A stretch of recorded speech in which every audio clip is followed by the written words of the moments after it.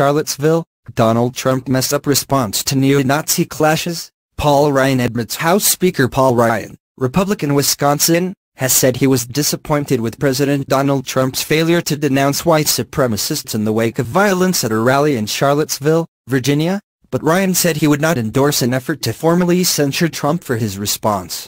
I would believe he messed up in his comments on Tuesday, Ryan said during a town hall on CNN. I do think he could have done better. Ryan said he found Trump's comments not only morally ambiguous, but it was equivocating and criticized the president for comparing the white supremacists and neo-Nazis who organized the Unite the Right rally with the counter-protesters who rallied to oppose them.